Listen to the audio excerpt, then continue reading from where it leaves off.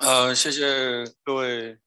呃领导，呃，谢谢杨总的介绍。呃，就是我的题目的话是呃碳中和第四次工业革命，清洁新能源及储能技术，呃规模化的一个反电池应用。事实上，就是举这个题目的话，是因为我一八年嗯在科技部借调，科技部的话我在中美在国际合作司负责美国和加拿大的新能源业务。事实上，在一八年的时候，科技部已经开始。这个内部啊，已经开始在讲这个，呃，对新能源的一个一个一个一个阐述。呃，内容的话包括以下四部分：一个是呃立项背景政策，这个等一下，呃，第二个的话是那个工作介绍和未来规划和嗯这些。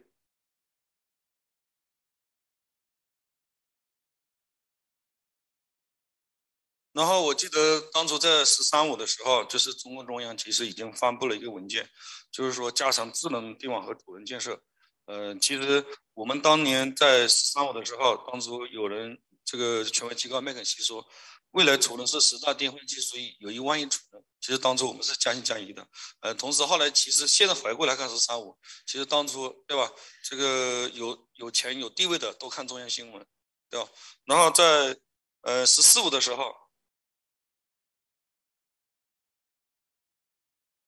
我后面好像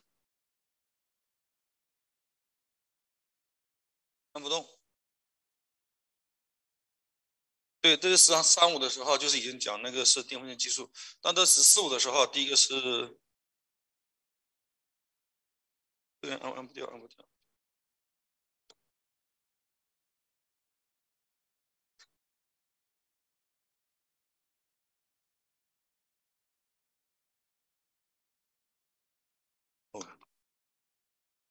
然后到十四五的时候，这个就已经比较明朗了，就是呃部委的话已经开始提清洁新能源，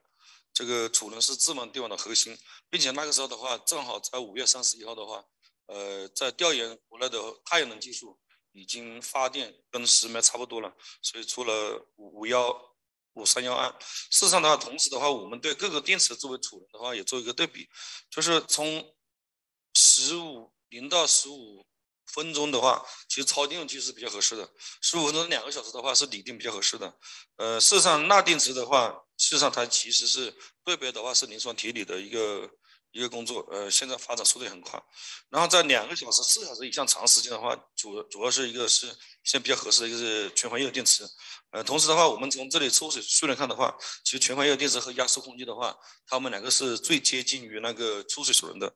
呃，同时的话，就是我们从大规模来看，基本上也可以定义，就是说，呃，全环液的是大规模的一个首选。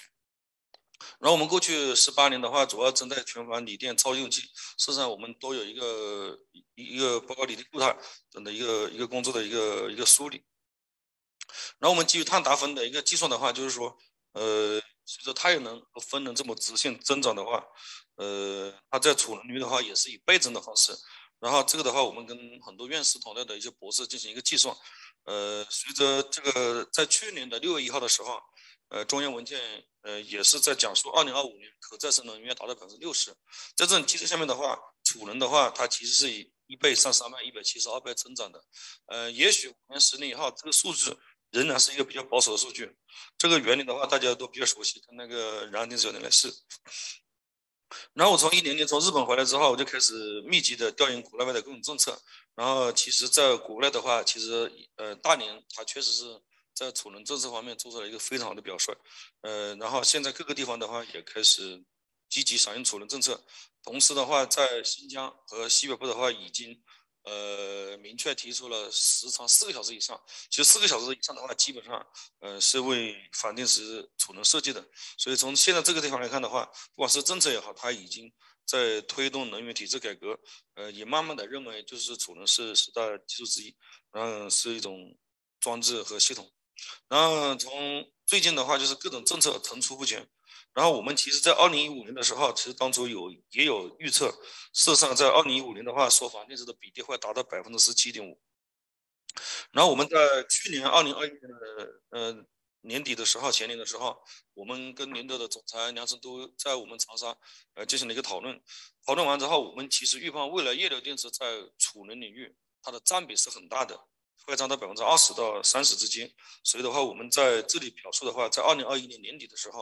我们将这个千亿的一个千字改成一个万字，也就是说，在未来的这个储能市场里面，其实钒电池它本身是一个万亿储能的一个市场。同时的话，就是说我们。在六月份的时候，就是六月底的时候，其实刚好我们也是，呃，在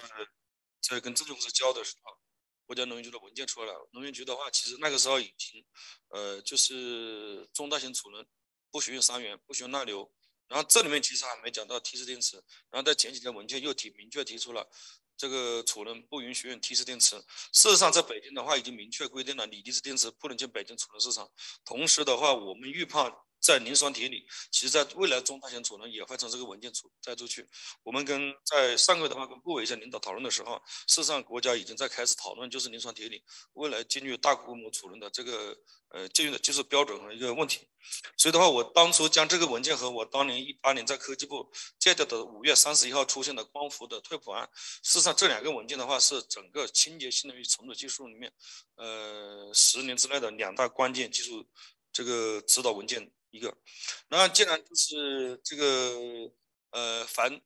这个前几天跟潘刚的领导在交流，这么小众的金属，你要去他乘坐万钧之力怎么办？我们其实也调研过国家的这种呃钒资源，其实中国的话有两种钒资源，一个是呃潘刚和承德的为代表的就是钒钛。呃，事实上，采这个加工成本也比较低。呃，同时的话，就是中国还有一个非常优秀的一个就是矿种，就是石煤矿。石煤矿的话，我们呃，其实石煤矿的产能及储量其实比钒钛矿还多一点。但是由于就是如果开采的话，第一个受到环保啊，整个技术路线，所以的话它长期在高于十万以上，所以导致这个推动有点慢。但是从长期来看，其实中国的储量是可以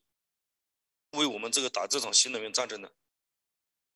同时的话，我们基于房的资源和房地产预测的话，它整个房地产未来其实也是一个市场非常大。我们其实算过，包括湖北、中阳、呃国电陶要做的一百兆瓦、五百兆瓦时系统，它其实一套系统相当于搭载宁德电动汽车一千公里的电动汽车，相当于五千辆它的电量。所以，如果呃储能市场定一定的市场要插入锂电市场的话，其实很难的，因为呃储能市场的它的量级、数量级是动力的一百倍。呃，如果你要你电动汽车一去冲击一百的市场，其实也是价格也会上涨。然后我们公司的话，其实从零七年开始成立项目部，呃，研究钒电池的一个工作，然后到现在也将近二十年。我们整个团队的话，大概有两百人，呃，就是技术顾问团队比较大，有二十多个。呃，博士、硕士的话，研究生以上学历的有有二十多个。呃，两百人里面，本科生学历占了百分之四十以上。那有岳麓区、雨花区商务中心基地和宜春和曲靖，呃，电力基地。我们呃跟十多所学校有一个产学研研究生合作协议的一个一个情况。然后我们前期的话，这这几个博士的话，现在在我们公司工作。就是最先的话，我们也是当我博士我去读书的时候，当年课题组的能量密度是二十，我的博士毕业的时候是七十。然后我的学生的话，大概是在一五年的话，我们做电催化的话，大概也是做到一百左右，发在 Power Source 上面。然后同时的话，我们也是，呃，当初跟中微合作，在碳纤维的表面，就是做一些打孔剂，然后同时种一些催化剂。因为我们这里是用的是六氟磷钾，然后氟的话有腐蚀性，磷和氮的话杂源是有催化性。呃，当这个公司也做了，呃呃一两年，然后它这种掺杂的话，使得，呃。当初获得了一个，呃，一千多次循环，就是衰减的话只有百分之零点零一三。然后同时的话，为了得到高功率离子的话，我们是在就是疏通电子导电和离子导电，然后在碳纤维的表面当做是原位生长的石墨烯。然后我们当年，嗯，文字的话投在那个 AEM 上面，大概是一七年，呃，工作的话是从幺年开始做的，整个这个工作做了五年。呃，同时的话，他的一个师弟两位博士，然后今年哈工大毕业，然后回我们农大工作。嗯，他当初的话用那个植酸做了一个类石墨烯结构，包覆在碳纤维的表面。其实当初这里的话，我们最大功率的话也能做到四百。呃，当初其实效果好一点，我们是陶恩 C，最后卷到了二万三十。然后这个是一个生物催化，呃，基于那个理论一个计算，就是呃一个情况。然后我们在工程领域的话，就是我们在一九年。当初房的价格已经是四十万到五十万的时候，我们针对房资源和未来中国储能的一个需求，然后我们觉得未来房的话会从四十万逐步的话降到十五，然后呃十二这样的一个阶段，然后事实上我们在去年底的话，好像是九八房已经降到了十万以下这样的一个过程。然后我们在宜春的话，呃，三百万化工地是主要的话全部用来生产电解液。然后我们当初的话，在从一六年开始的话，也是有一些合作股东，当初做一些，呃，从石煤矿里面做一些高成房。所以的话，我们其实上从零四年，呃，一四年、一六年开始，当初的话，我们觉得其实石煤矿它一步提到电子级的话，它的成本是比较合适的，其实也就在七八万左右。呃，这是我们对离子的一个杂质含量的一个控制的一个情况，这是我们当时在宜春的一个中试线。那我们也在电堆方面的话，我们大概从博士一年级开始，当初在实验室装一千瓦的电堆。当初我们其实用的电池结构的话，类似于现在燃料电池结构。我们当初其实燃料电池都是可以有非常好的流道。呃，当初燃料电池板的话是从日本拿回来的。现在很幸运的是，看到国内的燃料电池也能够很精准的能够拿到这种结构板。然后这的话，我们现在已经是第二代堆，第二代的十千瓦。有二十千瓦和三十千瓦的，然后我们现在第三代堆的话，我们这个图没放上去。我们第三代堆的话，如果按一一兆瓦四一百兆瓦四百兆瓦升的话，它的其实呃千瓦时的成本的话，应该在八百八百左右。那控制系统的话，我们呃从呃一开始也也有一个团队在做这个工作，然后在目前的话，这个团队的话也也比较给力，然后基本上实现了自负盈亏。嗯，其实的话，我们从二零一四年开始，我们当年在整套系统，从电解液、呃材料的改性到电堆整个系统，其实在一四年的话完成了这个工作。只不过是后来第一个是行业，我们一直等这个风口的到来，结果等到好像到来了吧，行价格又给你涨一下。呃，我们推进一步，行价格又又涨一下。呃，所以就兜兜转转，转转兜兜。我们就这样干了八年，大概百千瓦时的也招付了一二十套左右。那这个的话是我们在广东这个广东老板投资方那边的屋顶和墙壁是太阳能，然后里面用那个储能系统。呃，这样的话就是你每天能看到发多少电，存多少电，嗯，减二氧化碳的排放量多少，这样的话就每天就一个比较精准的计算。那个时候正好二零二零年习主席提出了这个在联合国庄严宣布我们要实现碳中和。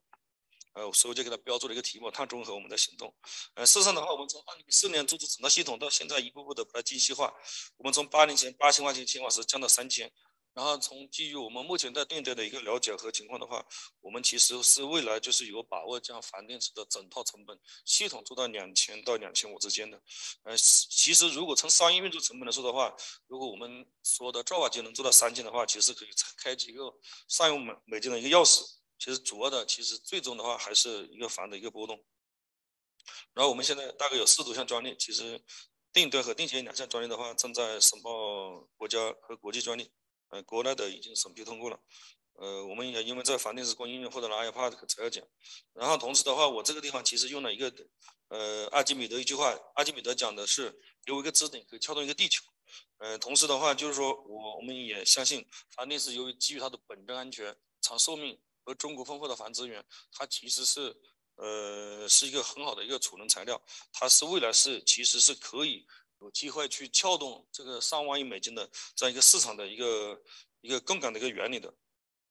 那当然，我们也是希望就是，呃，这个自己本人的话，学习经历也比较丰富。从湖南理工，我实际上是当时第三名考进中南大学化工学院的，所以从硕士、博士、博号在中南干了八年，呃，然后一直在。电子领域做做一下研究，呃，现在也在湖南大学电机学院，呃，本来是全职教授，现在也因为公司的事情改成了兼职。然后一六年的话在基金委，一八年在科技部，所以在那个时候的话，其实已经开始理解国家的一些政策和一些这个物料行业的一些发展方向。然后也担任了能源材料杂志的副主编，呃，现在影响值大概十五左右，也欢迎各位房地产专家投稿。呃，我们在过去这些年的话，其实很荣幸的是得到这些导师的一个支持，同时的话，也在去年得获得了湖南省参与了湖南省重大专项，呃，以前国家科技部智能储能项目的一个一个项目的参与，呃，我自己本人的话也在跟大学在联合招博士后，呃。呃，始终就是根据樊德智运的话，我们相信，其实樊电子的话，其实它是一个呃万亿储能的一个市场，可以做的碳中和第四次工业革命的参与者。然后我一直也在呼吁跟攀钢和很多钢铁厂在在一个交流，就是我们一定就是对吧？这个叫有句话就放长线钓大鱼，对吧？你只有这个它其实就是那个价格啊，它就是个跷跷板。你凡价格一低一点吧，你这个整个如果反电子它能够在前端，对吧？PK 在连上铁锂，是吧？然后后端的话，其实整个产能大起来。我的导师刘振华院士曾经给我讲过一句话：工业化一定是规模化、集中化、设备化等，就是要产销烟还不够，前面加政和商，要政治政策，对吧？国家、省部参与，最好销售能跟上。所以的话，我们其实。要做好一个企业的话，要产销烟加政和商，然后大家就是各个部件做好，然后一起把这个碳中和的事情做好。谢谢。